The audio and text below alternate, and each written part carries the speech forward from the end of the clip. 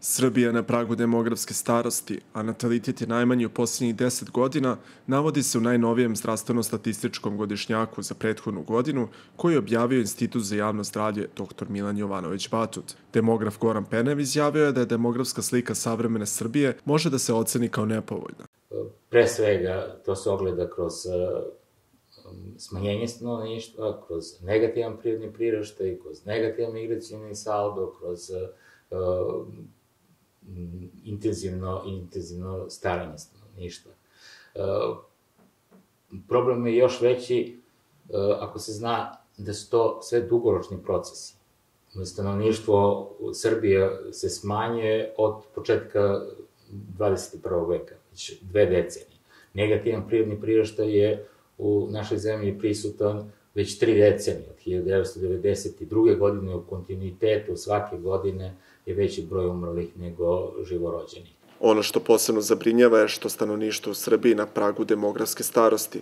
Demograf Penev ko rekao je da je prosečna starost stanovništva oko 44 godine, a oko petina stanovništva starije od 65 godina, što Srbiju svrstava u 10 zemalja Evrope sa demografski najstarijim stanovništvom. Ono što je, e, što je problem sa, sa, u Srbiji, izraženiji problem u Srbiji, to je da je negativan prirodni priraštaj praćen i negativnim migracijalnim saldom, za razliku od e, najrazvijenijih e, evropskih zemalja koje takođe imaju negativan prirodni priraštaj, kao što su, na primer, e, Nemačka, Italija, Španija, ali koje imaju, koje imaju pozitivan migracijni saldo. Govoreći o fertilitetu, Penev istakuje da je Srbija sa prosekom od 1,5 deteta po ženi ne odstupa puno od evropskog proseka, ali da je ovaj nizak stepen živorođenja prisutan već skoro 70 godina. Do 2051. godine, znači kroz 30 godina, e, Srbija bi mogla da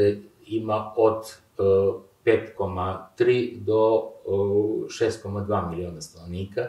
E, sada stanovništvo Srbije broji 6,8 miliona, ispod 7 miliona. To znači da bi bilo smanjenje od 15 do 30% ukupnog stanovništva s tim što uh, se sa sadašnjeg aspekta ta niža varijanta 5,2 miliona, 5,3 miliona, pardon, stanovnika čini mnogo verovatnije. Podaci Batuta pokazuju da je u Srbiji u 2020. godini registrovano 14.933 više smrtnih slučajeva u odnosu na prosek u periodu od 2016. do 2019. godine, što predstavlja višak smrtnosti od 14,7%, a kao najčešći uzroci smrti navedeni su bolesti sistema krvotoka, tumori i COVID-19.